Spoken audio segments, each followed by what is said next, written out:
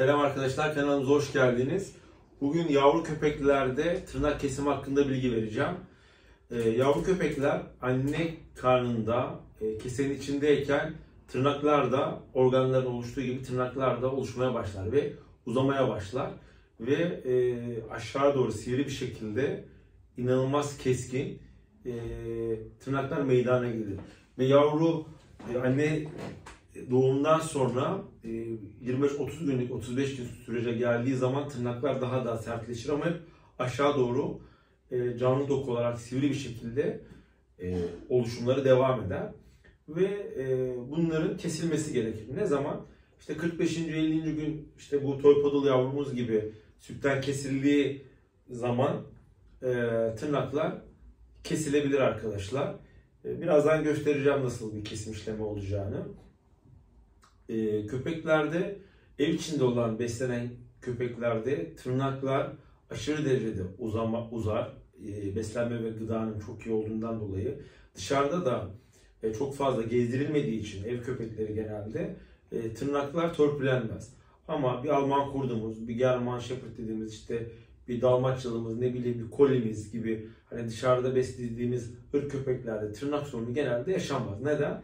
Çünkü o köpekler dışarıda gezerken e, taşlara sürtmekle, kaldırımlara işte aşınmasıyla törpüleniyor zaten. Onlarda da en büyük sıkıntı e, ön patilerin iç kısımlarında e, bir tane daha boşta bir tırnak vardır arkadaşlar. Genelde onu e, yeni hayvan sahiplenen insanlar bilemez ve e, orayı kesmezler. E, sokakta yani dolaştırdığınız köpeklerde ön patiler, ön tırnaklar yere temas ettiği için törpülenir ama bu bahsettiğim gibi aradaki kalan boştaki tırnak hiçbir şekilde e, yere temas etmediği için taşa işte e, toprağa temas etmediği için törpülenme olmaz ve o zamanla döner o tırnak uzayıp e, dokuya e, girer ve orada enfeksiyonlar, yaralar meydana gelir.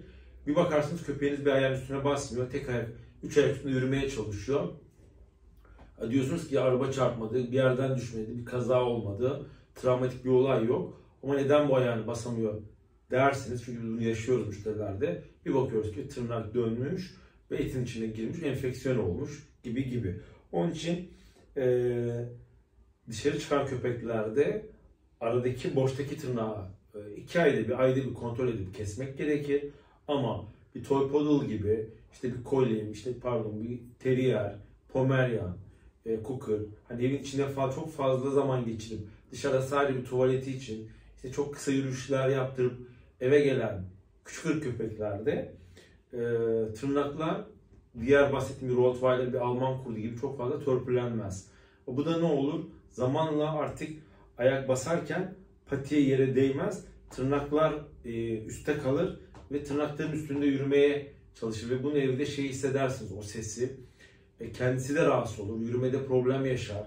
E, bazen bakarsınız patisi ağzında dişlemeye çalışıyor parmaklarını. Tırnak yemeye çalışır orada onu rahatsız ettiği için ama e, biz onu sanki ayağı kaşındığı için ağzına götürdü diye düşünenler olabilir. Ama oradaki asıl sıkıntılardan bir tanesi e, tırnağın uzamış olduğundan kaynaklanan problemdir arkadaşlar. Bundan dolayı e, onu kopartmak ve kemirmek ister. E, buna da dikkat edin. Yani evde beslediğimiz kim köpek besliyorsa arkadaşlar küçük ırk, büyük ırklarda da sorun değil.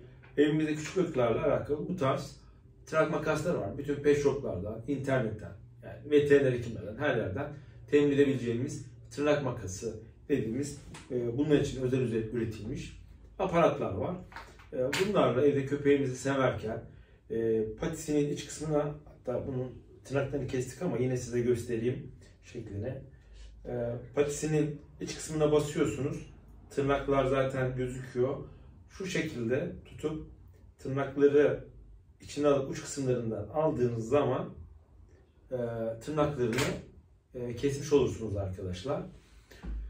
Ve e, bu şekilde kendileri de çok rahat eder.